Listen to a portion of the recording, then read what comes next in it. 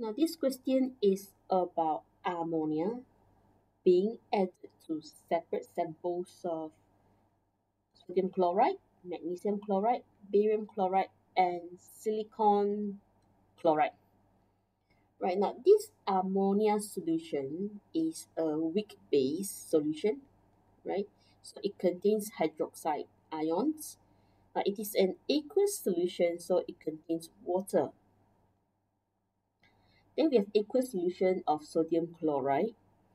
So in aqueous solution of sodium chloride, okay, it contains sodium ions and also chloride ions. So when ammonia is added to this sodium chloride solution, uh, sodium will actually react with the uh, hydroxide ion okay, to form NaOH. Okay, if we add ammonia, right? Then this NaOH is soluble in water. You see the aqueous solution of sodium chloride, aqueous solution of ammonia.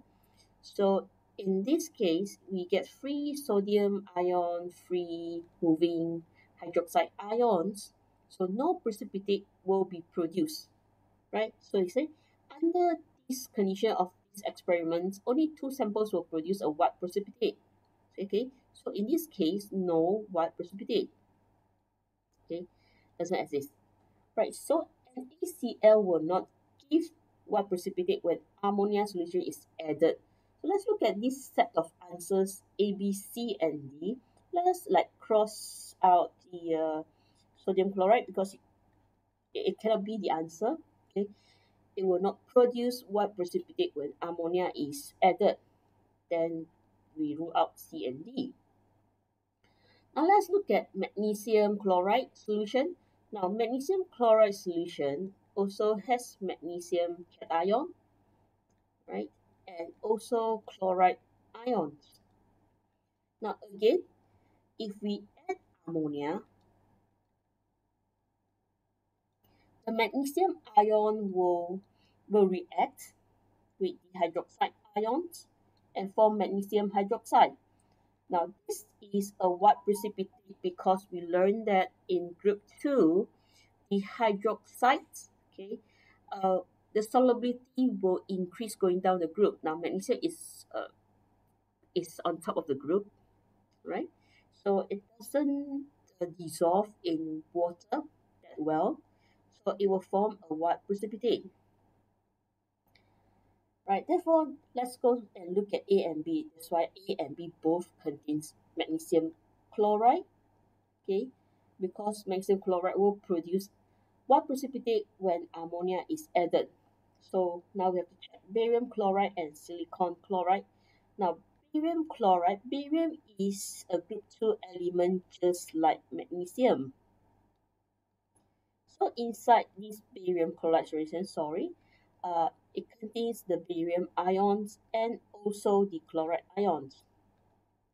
Now let's add ammonia to this barium chloride. What happens is the barium ion here will react with the hydroxide ion from ammonia solution. So it forms barium hydroxide. Now, unlike magnesium hydroxide, barium hydroxide is more soluble, right? So it forms an aqueous solution. So that means free moving barium ions, free moving hydroxide ions. So no white precipitate. Right, so let me put a cross here. So A cannot be the answer. So the answer can only be B, but let's us check why silicon chloride will form precipitate when ammonia solution is added. So in this silicon chloride liquid, right, it is a liquid. It, it, it has molecular structure. It doesn't uh, it doesn't have free moving silicon ion and also chloride ion. Okay, so when we add ammonia solution, so silicon chloride will actually react with the water in this aqueous solution, right, and form silicon oxide. Silicon oxide doesn't dissolve in water, so it is a solid. it's a white solid.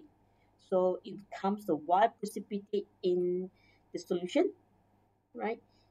And we get HCl. Let's, let me just balance the equation.